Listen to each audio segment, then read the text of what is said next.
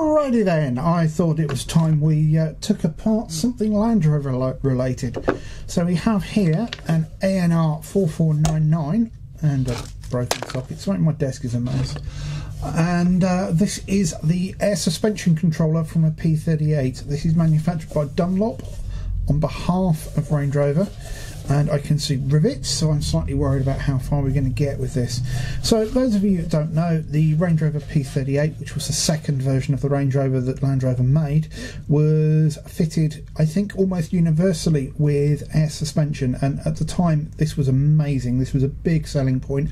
And the suspension system was able to self-level the vehicle within certain limits uh, adjust the height, which means you could have a comfortable drive on road or um, just as much ground clearance as the older uh, Range Rover off road. And the system was okay at the time, but a lot of the vehicles it's starting to get a bit old, bit old hat, crusty and clunky, and sadly, a lot of people do decide to put springs on. You're entitled to do what you uh, what you want with your own vehicle. I just don't like the idea of putting springs on. So this is a module that lives under the passenger seat, I believe, and controls the system. So let's see just how far we can get into this before we run into uh, the need to deploy a drill.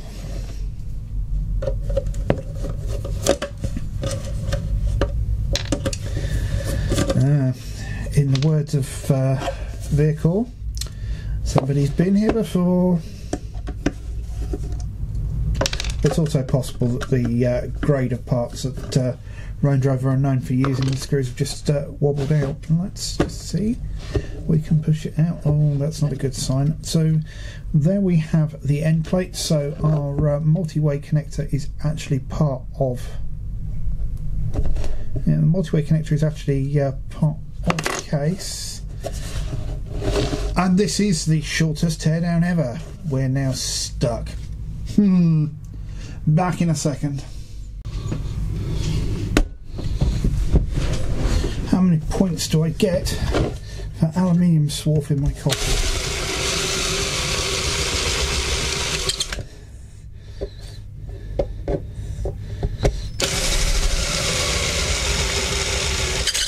I feel this drill bit may be bent.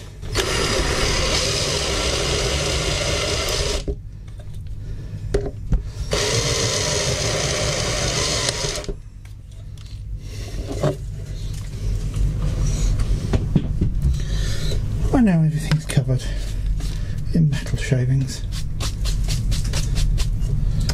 Can we get this out here? That's it. There's it. And that, children, is why you never have drinks on your workbench. And we're out. Everything is conformal coated. That's a fairly unremarkable cylinder with a bit of insulation on. So there's your first bit of knowledge. If you're going to uh, try and get into this, then uh, you're going to need to do, uh, do some drilling.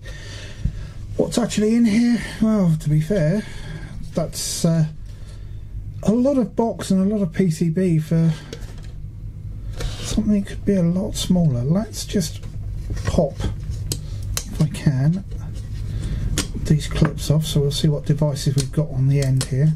I'm guessing one of these is going to be a regulator uh, we should in theory have a driver for possibly the pump.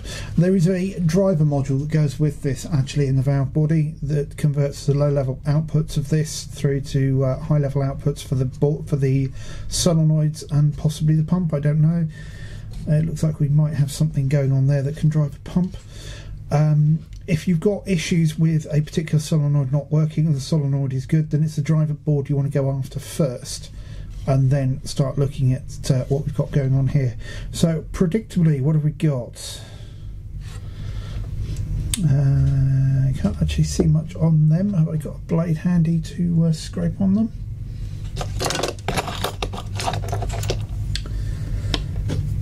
Everything is conformal coated.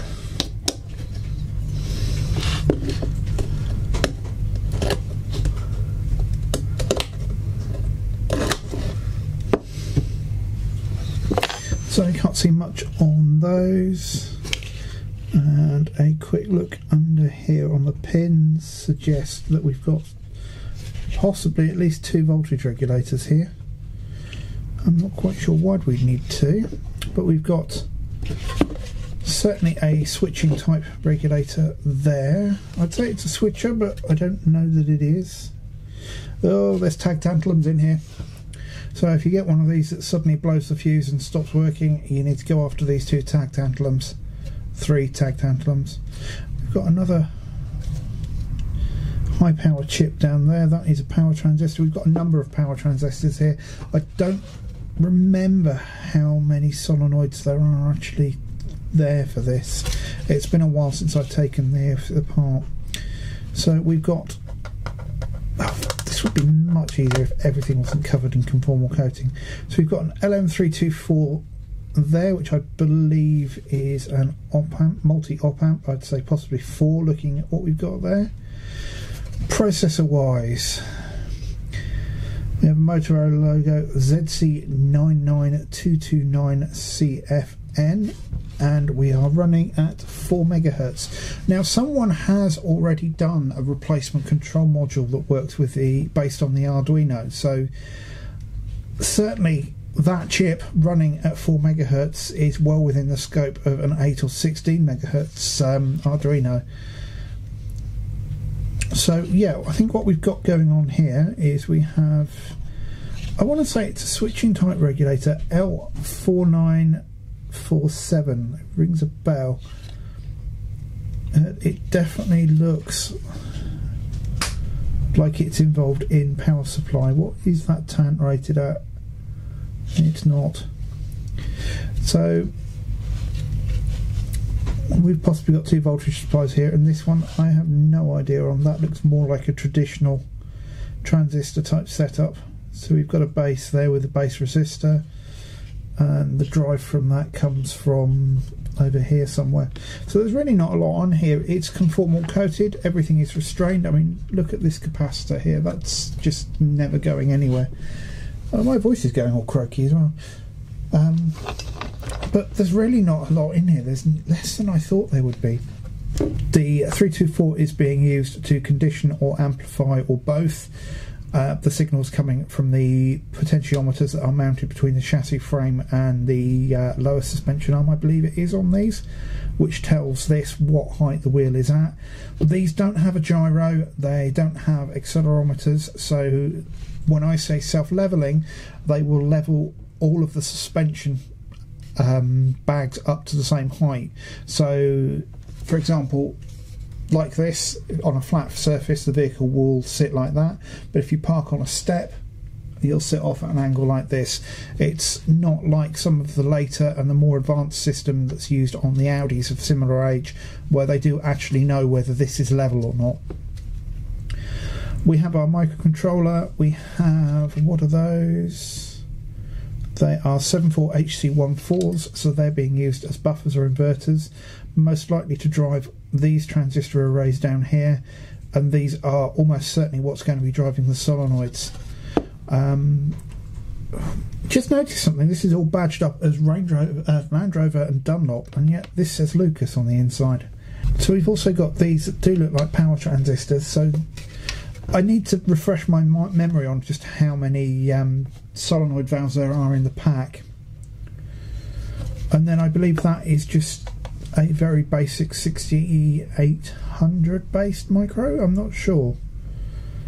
And we do appear to have a programming connector on here. Now, interestingly, the diagnostics output of this is RS232 serial. It's not anything special. And I'm willing to bet that this is a programming and diagnostics header. Certainly, we have four pins here which are direct to the microcontroller. Um, one of them. Uh, we're, no, we're all on these pins down here, so it would be interesting to know what those are. And we've got another chip that's missing just in here which I would guess is a serial EEPROM looking at it. The pinout looks fairly similar to uh, a serial type EEPROM, so I'm not quite sure. Again, it's something that possibly got removed in development because they felt more memory was needed than this had, it, had and maybe it means that there were features deleted from this. But yeah, I mean, it, as I said, it's conformal coated, it's solid. Um, and we have a copyright there with the date. This will zoom in. Copyright Lucas Industries. So I don't know what the Dunlop connection is other than the uh, airbags, but yeah, there's not really much to this. Um, as I say, I would. There is someone who has reverse engineered this and written an Arduino version of this controller, and I will uh, try and find that and put a link down there. But really, that's all there is to this. It's not very exciting at all. Um, if you have one that is completely dead, then we've got protection diodes here. We have these tag tantalums which are known to fail. We've got one marked IC8 there. What is that? That is a precision voltage reference, so that will be used in conjunction with that for our height sensing. But troubleshooting this, if this module is actually dead, should not be too hard for anyone that knows how to use a multimeter. You'll struggle getting through the conformal coat, but other than that, it shouldn't be a problem. Anyway, take care. Bye.